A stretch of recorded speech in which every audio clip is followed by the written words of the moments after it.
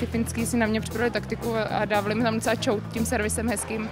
A, takže z tohohle pohledu já jsem se asi víc zadejchala v tom, v tom druhém. A navíc to byl zápas, který byl už jako postup do semíčka, takže si myslím, že bylo důležité, že jsme ho nějak zvládli. Maky dali fakt jako zabrat. Já jsem s ní na tom hřišti stála, vím, jak to bylo.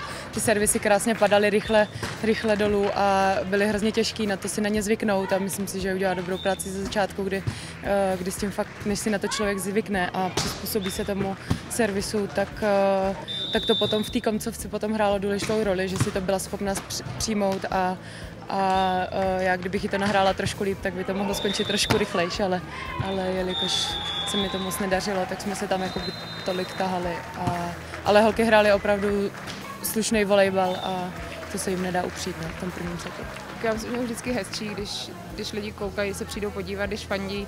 A samozřejmě ten prostor kolem kurtu se trošičku zmenšil, ale to je zase prostě to, to, to je ta uh, cena, kterou musíme platit za to, že chceme, aby prostě lidi na nás koukali, takže si myslím, že to byla hezká atmosféra a, a že doufám, že se jim to líbilo.